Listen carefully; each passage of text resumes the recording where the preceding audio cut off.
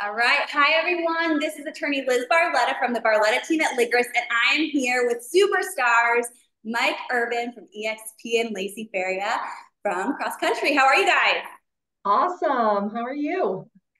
Good. I'm super excited to just chat with you guys because um, obvious rock stars, and I just maybe if you want to give a couple, uh, like a minute about sort of how you got to where you are, Mike, and um, then we can do the same for Lacey.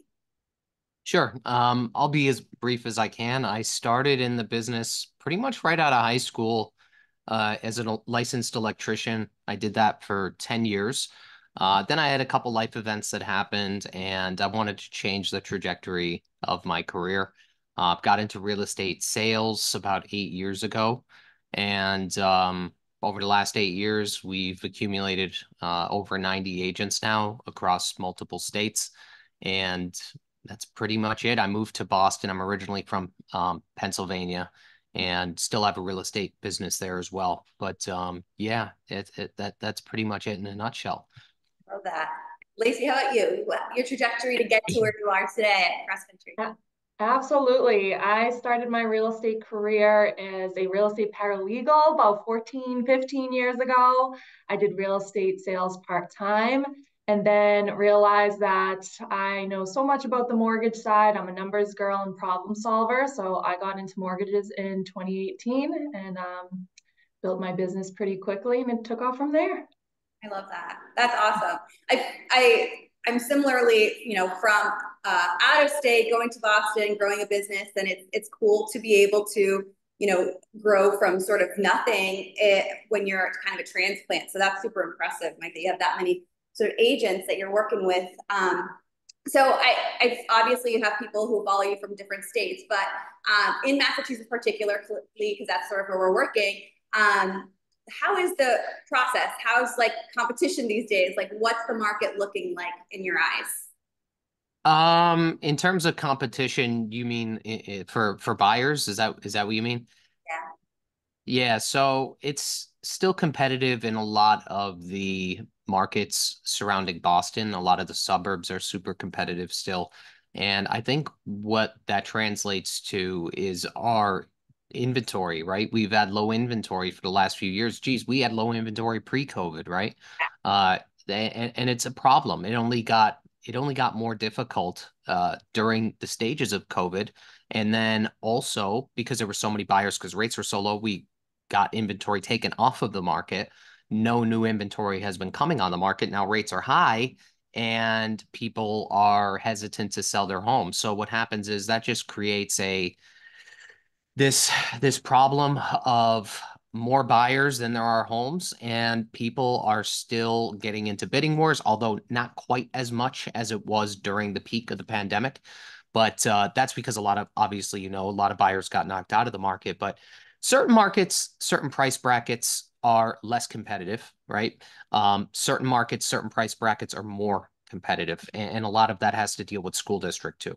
Um, yeah. You know, good school districts just promote uh, more families and, and and stuff moving there, and uh, yeah, it's that those are the toughest markets to get into, in my opinion. Yeah, I think that's totally fair because I remember even um, you know how Boston is always just super competitive. It has been for a long, long time. But then the shift with the with pandemic, the suburbs became like a super hot commodity. Like everybody was leaving the city to the, you know, to the suburbs. So I feel like that really highlighted the fact that there was not just going to be bidding wars in Boston anymore, which I feel like there were, you know, for, for many years.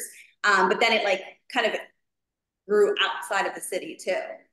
Yeah. Yeah. It's uh I mean, the pandemic changed the trajectory of a lot of, you know, suburbs around multiple cities across the country. We, are seeing this across multiple areas now. There are some areas outside of Massachusetts that received hyper uh, inflated prices and they're starting to cool off. But for the most part here, you know, we're still seeing the same things we saw a year ago. And, and again, I think that has a lot to do with the rates. Yeah, no, for sure. And Lacey, you want to speak to that? Like how how, how are rate? I mean, obviously rates are what they are, but like how has that impacted your conversations with your agent or yeah, with your agents and your buyers? Um, we'll start with buyers. I think it's key to educate and motivate. Educate and motivate are my two keywords um, the last two years. I feel like I have been nurturing my clients a lot more, teaching them about um, what a future refinance would look like to get out of this high rate environment. For me, we go over monthly payments quite like the most when I'm reviewing a pre-approval and I make sure that my clients are okay with that monthly payment for a short short amount of time. Um, and then we price the refinance in the future. So I go over different price points if it drops by half of a point or if it drops by a full point, kind of give them a light at the end of the tunnel. And I feel like that really motivates my clients and keeps them in the market. Yeah. Um, with my agents, it's a team effort type of thing. Um, I work with a lot of higher producers like Mike. Um, I know he motivates his clients very well. So between the two of us, we are making sure that we're keeping our buyers in the market, that they're not scared to purchase. I give my own personal advice about how I've bought properties. I bought one last year with a high interest rate, but um, telling them those stories is is really helpful, and they feel really comfortable with me, and they trust me, and they um, usually end up buying a house in a short amount of time when they're pre-approved with me. And talking about a short time, so like Mike, do you want to speak to like the the length of time for a home buying process in Massachusetts? Because I feel like more and more it's getting shorter and shorter and shorter. so the the the if somebody is in it, it depends, right? So I think the process from contract to closing uh, could potentially be shorter, meaning, you know, you write an offer, let's say hypothetically it gets accepted. Uh, a lot of buyers, and it depends on the time of year too, but a lot of buyers want to close as soon as humanly possible because yeah. a lot of them are renting. They want to get out of their lease. They gave their notice. Uh, and um, you know, or alternatively, it took them a long time to get an offer accepted. They already gave their notice and now they want to speed up the process. So, I mean, generally, and Lacey could speak on this too, and obviously, you know, but I mean, we see anywhere from 30 to 45 days, somewhere in the middle there. Um, although we've been seeing a lot of hard money and ca- cash buyers want to close, you know, within 30 days. That that happens as well, um, as you guys know too. But uh, for the most part, generally, you're, you know, pre-approved conventional buyer, you're looking at anywhere, I would say like 35 to 37 days would be a safe bet. Yeah. Um, as long as the, if the house is vacant, it obviously it could be shorter. If the house is occupied, then it can be a little bit longer than that, as you know. But that's yeah. that's pretty much a generalization. Yeah, that's what I'm seeing too, because it's you know even in terms of the market being competitive as it is, um, like anything that can kind of like give you a little edge to the other buyer who's also submitting an offer is huge. And that kind of speaks to like the um, working with Lacey and, and talking to Lacey about like, okay, you know, how long is underwriting going to be work like now? Like you have to kind of know what's going on at that moment in time because like in the middle of April is going to be different than February underwriting processing times and things like that. So like having that open communication right. is is huge. I, I think that uh, a lot of, of, of what happened during the pandemic, and, and Lacey could speak on this too, is uh, the, getting pre-underwritten um, massively speeds up the process. And you know, when we're talking about the time to to close, uh, time to to get an offer accepted is a completely different thing. I have people that have been a year out, right, from getting pre-approved to actually closing on a home, just because they're in hyper competitive areas. But uh, people home buyers that are pre-approved conventional, you know, if they're working with a, a lender like Lacey from Cross Country Mortgage, what happens is she will pre-underwrite a lot of these people, and they'll already be like multiple steps ahead of other home buyers. And uh, what happens is that speeds up the process from the time of an executed or fully executed offer to the time of closing. Uh, and, and I think a pre-underwrite is a huge deal, and that's really one component to getting an offer accepted as well. You took the words right out of my mouth. so I'm trying to pre-underwrite everybody. Everybody that comes my way, I'm basically begging them at this point to get pre-underwritten for a couple reasons. Um, yes, it is competitive. A lot of my closings are happening within three weeks or less. I got one clear to close in nine days re recently. Um, and it's helping them get their offers accepted. It's helping them stay ahead of the game so they're not super stressed out if we have to have a short timeline because the last thing that I want to do is to rush my client. I want to make this a happy process. If we don't have to rush, fabulous. You're not pre-underwritten and you need a quick close, not the end of the world. I can do it, but everyone's being rushed and everybody's super stressed. Yeah. So again, team effort here. Um, clients can get, I would say, the perfect word is lazy sometimes. They don't want to get pre-underwritten, give me the extra paperwork. So if I have a, uh, an agent backing me up, influencing influencing them to get pre-underwritten, it helps so much. Plus, it's free of charge for them, so it's kind of like a no-brainer. And maybe just going super basic, like for those who don't even know what underwriting means, like what is the underwriting process like? Absolutely. So there are couple different types of pre-qualifications or pre-approvals. There's a pre-qualification where you give me your information, I look at it, and I send you a pre-qual letter. I don't do that.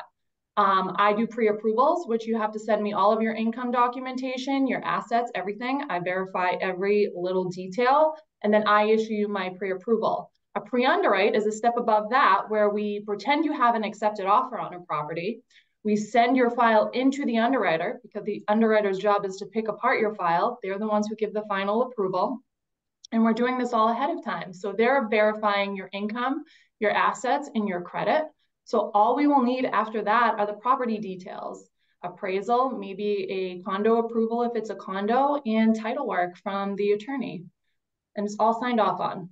I can't stress how important, um, you know, working with a lender like Lacey is. If you do the pre-underwriting or not, but just having someone who's actually looking at documentation and not just saying, okay, I have something, here's a, you know, here's a pre-qualification letter. Um, it's so important. I've had unfortunately, um, you know, transactions where you know buyers came with their loan officer already, and maybe it was at a big bank, someone who's really not an expert. Um, you know, that's just one of the hats they wear. And um, unfortunately, got to like a couple of weeks before closing, which tends to be the mortgage approval deadline. And they didn't qualify for something that I know would have been like discovered at that stage with someone like you.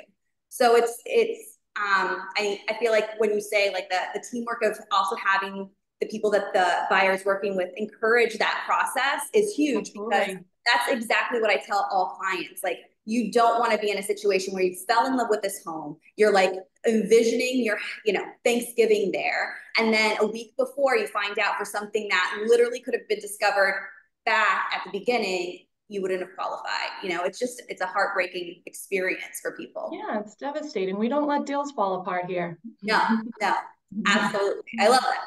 Um, so I think obviously pre-underwriting is one tactic or strategy, but Mike, can you talk to, to us about some other strategies you're kind of employing to get buyers um, offers approved these days? What are you seeing as sort of working? Sure. It's a, I mean, obviously it's a it's a plethora of different it's a plethora of different things, right? Um, one thing that I've been doing and encouraging, especially for first time home buyers, if the seller and if the listing agent will allow it, is to conduct a pre-offer inspection. Basically, what that is is where we walk through the property, the license inspector. You don't pay them the full amount per se because usually they're not providing a full detailed report but you're at least going through the property prior to writing that offer. You're getting an inspector's eyes on it. You're getting my eyes on it.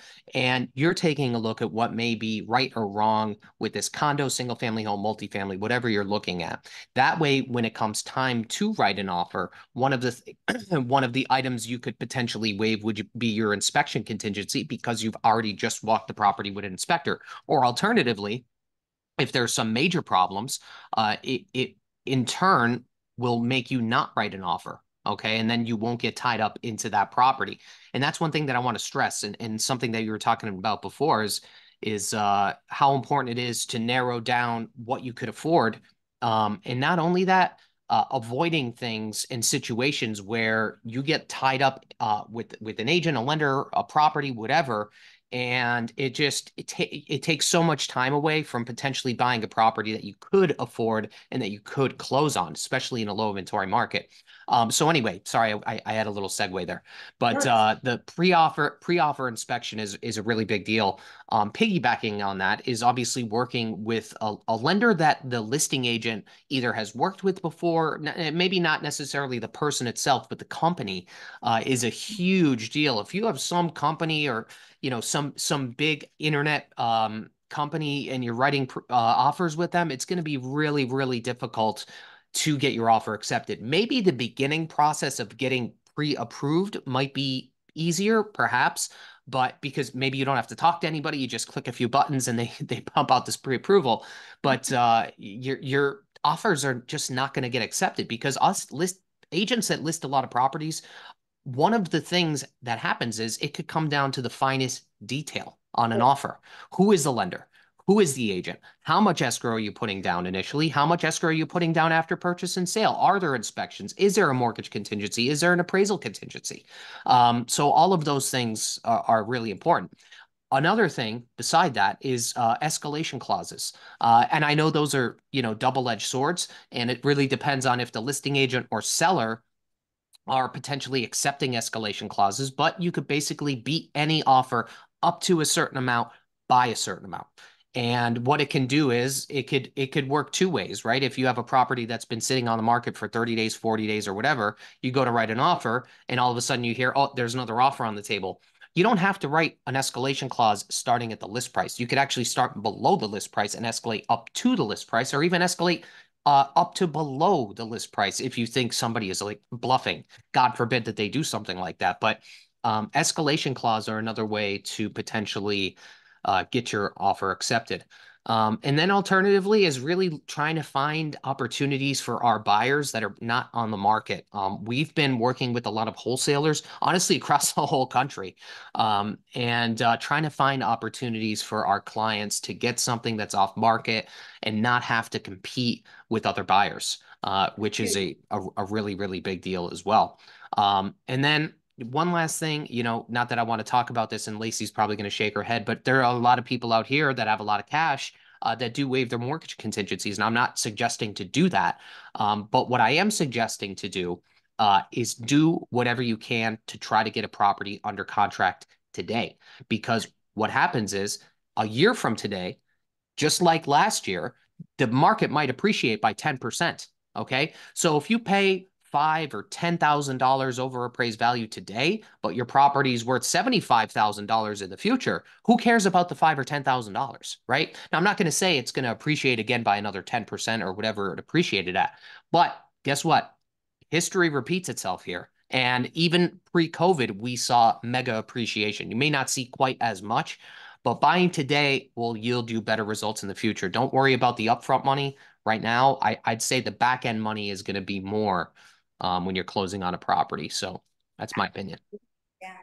I love all those tips because I feel like that that's what I'm seeing. Um, and the, like literally like you talked touched upon like the minute details of like what a seller has to go through. They could have 20 offers and it's literally a matter of like every five or six of them could be the exact same terms but one pre-approval has Lacey's name and one has that, you know, random person from another state you know, on an internet mortgage company, Lacey's is probably going to get accepted. Um, it's more just, than likely. Yep. Yeah, mm-hmm. it's it's just one of those things because someone can actually call her. She picks up the phone all the time. She uh, probably has already spoken to the list agent. Like I was going to say that they don't even have a chance to call me because I already called them. yeah, it, it, it makes a huge difference. It is, and it, it's amazing once you get into this, like there may be people watching right now that may maybe home buyers or home sellers in the area, and uh, it's it's really amazing once you get into the thick of it of how complicated it is because of the small details. Uh, and when you're writing an offer in a highly competitive market, those small details matter so much because if, like you said, if you have 10 offers and they're all identical, the only difference is who is the agent, who is the lender, Okay. Right. Guess what? They're going to, the, the, not only the seller, but the listing agent is going to want to work with somebody that they know or they're more comfortable with. Um, and again, that's not the only component to this. And there are other, are other things you could do to get it accepted. But uh, clear line of communication and working with professionals is the first step, 100%. And, and to that point too, um, especially now, since there is so much you know competition depending on the area that you're looking at the type of home um, you know, having a collaboration between all of us is huge. Having the the so typically the attorney, as you know, like gets involved after the offer's accepted. All of that, you know, back and forth has already been done. Um, but nowadays, I feel like I'm getting involved way earlier, which I love because I can support my agents to say, hey, I want to, you know, offer a use of occupancy, meaning that, you know, the seller would be able to stay past closing. Maybe that's the, the little nugget that the list agent said will get your offer accepted or potentially give you a better chance. And help helping that agent formulate that language to make sure it's, you know, kind of ironclad is is all about the collaboration um, amongst all of us really in the transaction. 100%. It makes for a smoother process. And, yeah. uh, you know, when you have everybody, and, and, and you, like you said, it's more of a team effort and everybody is connected uh, to some degree. It just makes the entire process so much easier. Uh, yeah. 100%. 100%. And just curious because I know you touched upon like you know how home values, especially in and around Greater Boston, just you know continue to rise. Um, what aspects besides I know you touched upon schools, what other sort of things have you seen are like what makes like a town or a city like hotter than another? Uh, public trans. There's two major components here in Eastern Massachusetts. Number one is number one is school district. I mean, that's almost throughout. Like I said, we we sell throughout a lot of parts of of, of uh, the country, and school district is always a major major component uh, to what home values are and how much appreciation there is because of, you know, they get scooped off the market, there's lower inventory, right? Uh, but the other major component here in Eastern Massachusetts is public transportation, okay? And the closer you are to the proximity of public transportation, the higher the price of your single family home, your condo, or your multifamily home is going to be. And on top of that, the more amounts of appreciation it receives uh, statistically is going to be higher than something that's two miles away from public transportation. And the reason that's true is because a lot of people, as you know, that are commuting into the city, they don't have a car. They don't have a car. They don't have car insurance. They take the, the commuter rail or the T right into the city and right back up to where they live. So buying a condo uh, or a single family home or whatever you're looking for closer to public transportation is going to be substantially more expensive uh, than buying further away from public transportation. And then obviously there's other things. Those are, I would say, the two major components. Maybe the third on the back end is uh, you know things to do walkability like if you if you live close to like assembly row or a really nice hub where you could go walk and get a coffee go get dinner um, whatever it may be that's also going to alter the prices because location is a big deal. And one thing i want people to understand here especially if they're from out of town is that even though like let's even within boston let's say outside of boston there's like micro neighborhoods right? In every single suburb, there's like micro neighborhoods that either have different school districts that you could send your children to. Okay. Maybe not so much high school, but like maybe elementary school or middle school, which is also very important. Uh, and on top of that, those have different price points. So depending on those micro neighborhoods that you're buying in, they could yield different results. And if a realtor is pulling comparables outside of that neighborhood in another neighborhood, which in, in part there there could be times to do that, uh, but if you want to get really detailed with, you know, again, writing an offer, figuring out how much properties are selling for in that specific micro neighborhood from a start uh, start price to a finished price, you know, you really got to know your stuff, and, and and it's difficult. But um, uh, but yeah, that that that's that's pretty much it. And talking to, to that, the, the likelihood is obviously that the, the those types of properties that are closer to these, uh, you know, the live, work, play kind of atmosphere neighborhoods, um, the likelihood is they're going to be more expensive. Um, so I do see a lot of first time home buyers maybe looking below their price range and thinking about like a construction loan or um, something so they can you know put their finishing touches on a home that maybe wasn't what they expected, but what they could afford to be in that specific property or area. Um, Lacey, can you talk a little bit about like how you've seen those kind of grow. I feel like they've just become more popular these days. They are um, much more popular. And actually, a client of mine actually put in an offer this weekend on a home that needed a brand new kitchen. The kitchen was basically empty and a new roof. Um, here at Cross Country, we have an entire renovation or 203K team that handles those renovation products. I'm still the loan officer, but it's managed by a whole team. Um, they're very popular because you are able to, we're able to lend on the renovation portion of a home. We can even go down to the foundation of a property and build up if that's what they choose. But a lot of people are either looking further away in their price range or they are looking at properties that need a lot of work. And you can even tell just by a listing, it'll say cash offer or renovation loan only um, because it won't pass conforming financing.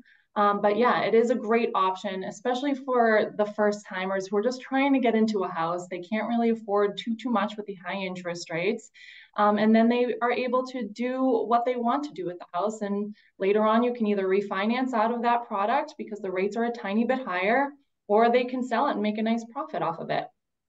And how I feel like, I mean, myself included, like I love watching, you know, real estate TV and you like fall in love with these like mega mansions and it's gorgeous. And then you're a first time home buyer with a certain budget and you're looking at the properties you can afford and it's kind of like jarring mm-hmm. sometimes. So how do you handle expectations versus reality, like Instagram versus reality, Mike? Like how do you manage that for home buyers? I mean, I, I think uh, it really depends. I and, and I just had somebody relocating uh, from another part of the country and moving here, and they have like an eight thousand square foot house, and you know, it's just like they have this crazy house.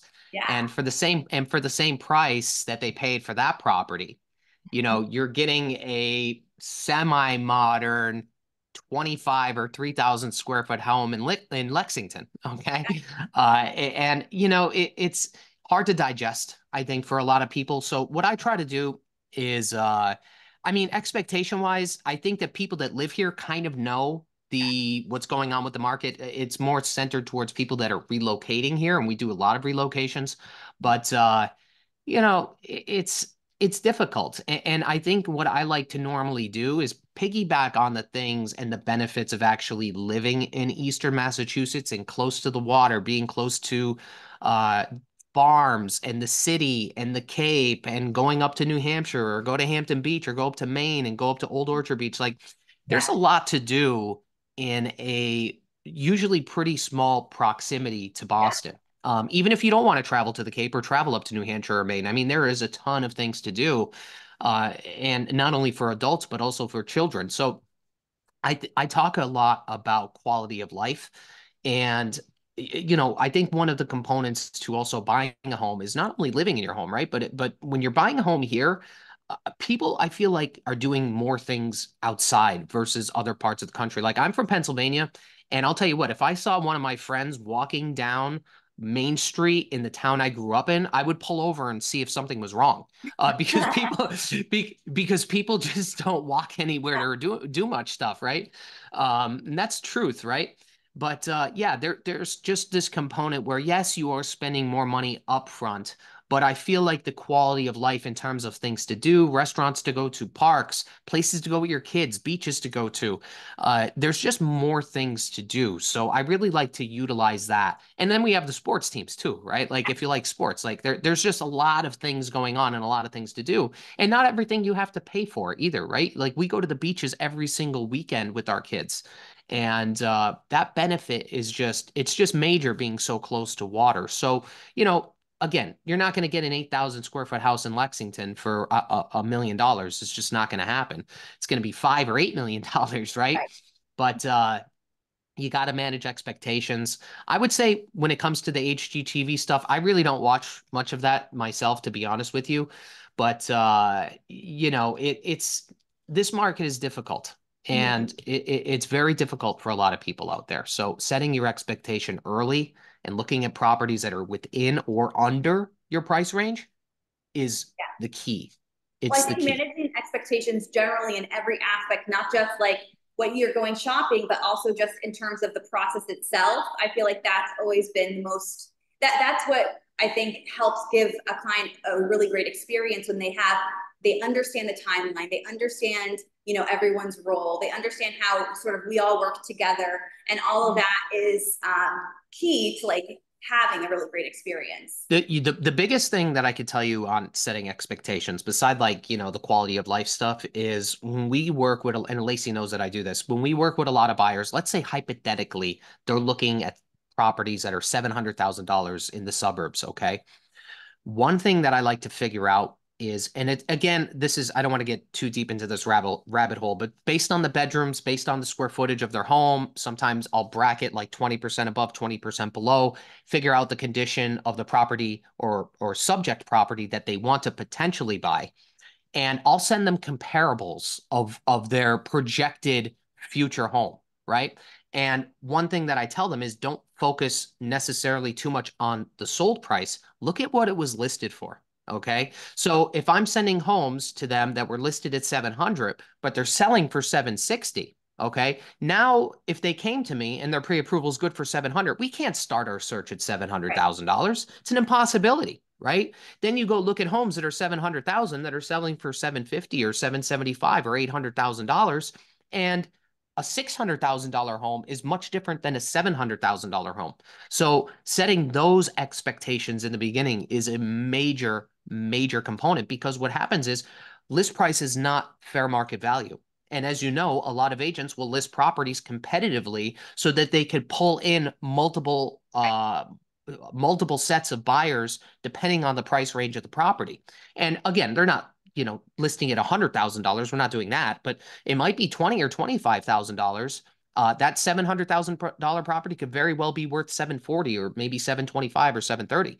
Um, but they were listing it at 700 so we could pull in the buyers that are looking for 650 to 700 and then 700 to 750 so that is a major major component and i see a lot of people get disgusted uh, when they see that happen. But when they know what the sold price is and what the list price was at yeah. least they have a good feel for what is happening in the market. Yeah. No absolutely. uh, i think that's so important it's actually it's hearing you talk about what you do for your clients is really a testament to you and like doing your job at a high level because you know we work with agents lacey too like all mm-hmm. different agents. And there are agents who just do not do these these small details which mean a lot to the overall experience of a home buyer. Like being able to see in your face like this is what you could potentially be buying that is huge. I mean and again i think that talking to you know, um, either expired or people who are not necessarily listing their home and like finding homes for your buyers. These are all things that are just not typical. So um, bravo to you for like, you know, doing your job at a high level. Thank you. It's, it, you know, when it comes to that and a lot of the analysis, really what it boils down to is time. Yeah. Um, and time, as you know, it, it is valuable. It's a non-renewable asset. And if I'm saving time on the back end by doing that data and showing people what they need to do, even though it's taking my time now, yeah. it's going to save a whole heck of a lot of time in the future because my clients are going to be more educated or almost as educated as I am, depending on what the price point they're looking at, where they're looking, the whole nine yards. Uh, that makes the process from from start to getting across the finish line much easier. Yes, the back end work may be a little bit longer. And there's a lot of agents that either don't know how to do that or don't want to do that because it is time consuming in the beginning. But again, it saves you a ton of work on the front end when you start to show properties because then you get your offer accepted. You're looking in a price range you should be looking at. And uh, then the process from getting an offer accepted to closing is just a hundred times smoother, in yeah. my opinion. And yeah. that's the way I do it. I mean, that's that's the way I've always done it and it's it's similar to how again push for the pre-underwriting is important you're again you're doing that homework beforehand you're doing all the heavy lifting beforehand so you're set up sure. for success yep and we don't mind that at all we want yeah. to make sure that the process runs smoothly everybody's happy yeah. we all have the same end game and right. Exactly. Lacey does the same thing with the pre-underwrite because essentially somebody could get pre-underwritten. It doesn't mean they're going to buy a house, you know, in three months and six months or whatever. Right. And it takes her more work to do the pre-underwrite right? Mm-hmm. She could very Absolutely. very well just pump out a pre-approval and just say, "Here you go." You know what I mean? Exactly. But by her doing that back end work and getting them pre-underwritten, if we could, you know, convey that to the buyer that they should get pre-underwritten, it's more work for the two of us. But again, it's going to save it's going to save us on the front end of of when we're looking at properties and writing offers, and that's really what it's about. Uh, it's setting them up for success. It's more work on the back end and mm-hmm. less work on the front end. Yeah, we create winners. Yeah. That's it.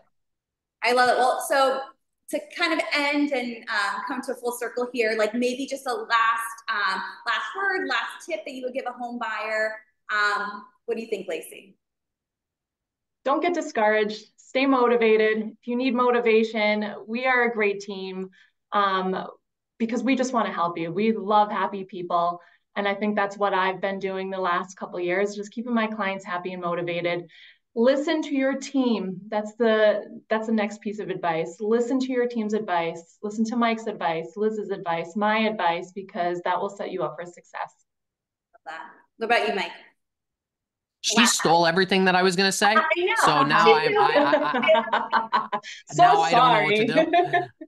Um, so to get set up for success, so so to get set up for success, obviously it's this is and this is for the home buyer, right? So to get set up for success, obviously what you want to do is do your homework today.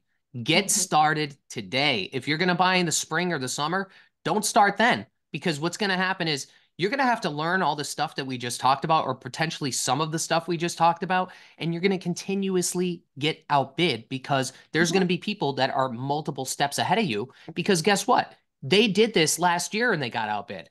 Then they came to terms with what they need to do and they're writing offers. So, how are you going to compete as a buyer with somebody that's been in the market for the last two years? You're not going to be able to because they're going to be more educated. They're going to know what they need to do to write an offer, and so is their agent right? Even though they didn't get their offer accepted in the beginning, got to realize there's a lot of cash buyers out there. Maybe they don't have 50% to put down, and that's why they're getting outbid. Okay. Mm-hmm. Um, so do the work, do the homework now, research who to hire. Okay. Make sure you're working with high volume people that are doing this at a high level, know what they're doing, and put your nose to the grindstone and just get it done today. Start the process today so you could win in the future. I love that. Yay. I'm, I didn't even, I'm not going to give any more tips because that was it. That was, well, I want, I want to thank you both for your time today. I think it was super helpful for all those home buyers out there. Um, and it was just fun to chat with y'all. Thank you so much. Thank you for having us. Thanks. Have a good day. You too. Bye-bye. Bye.